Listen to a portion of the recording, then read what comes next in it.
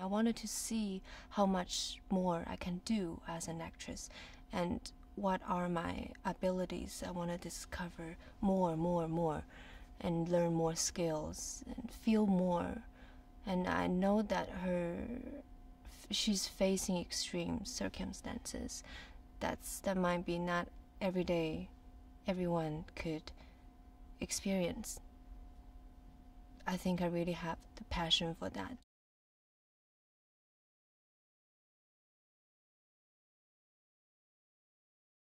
She's discovering herself, um, not on the surface, but deep inside. Mm, when she thinks that maybe the perfect her in other people's eyes is that way, but then you realize eventually you can be that and you can be more than that.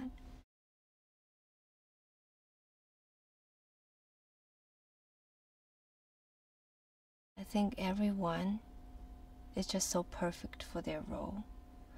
I have to say that Jet, I worked with him uh, maybe 10 or 12 years ago. So good to see him again. He's really the perfect, um, perfect person for the emperor. And Gong Li, oh my gosh, she is my godness. I'm a fan. I I couldn't believe that this time I'm I'll, I'll be work. I get opportunity to be work with her. So I just I'm just I was so excited and I said I always wanted to chat to her, but I have to remind myself that I have to focus on my, my work.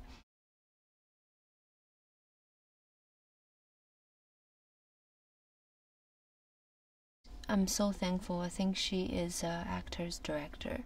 She knows so much about acting about how to express the right emotion, and she's pretty open to possibilities.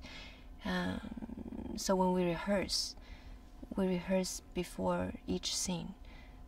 It could be go many many directions, mm, and she's always open with it. And I think we do share some qualities that we think will only um, show show the emotions and show the things that we really feel.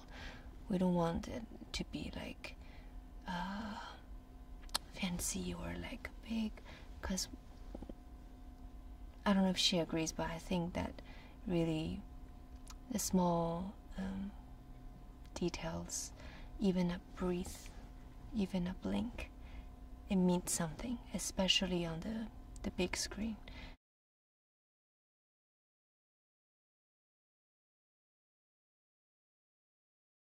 Yeah, but I don't really like pay attention, you know, to really stand in front of mirror. I say, oh, I, oh, but I think that I did build up uh, strength, the strength that I need to play the character. That's what I cared about, like how fast I can move, um, and how I can use my strength to help with the, all the action sequence and even with the energy.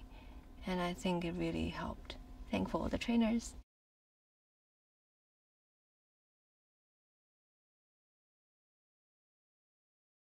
You see, because our armor, right? We have different color represents different uh, groups of soldiers.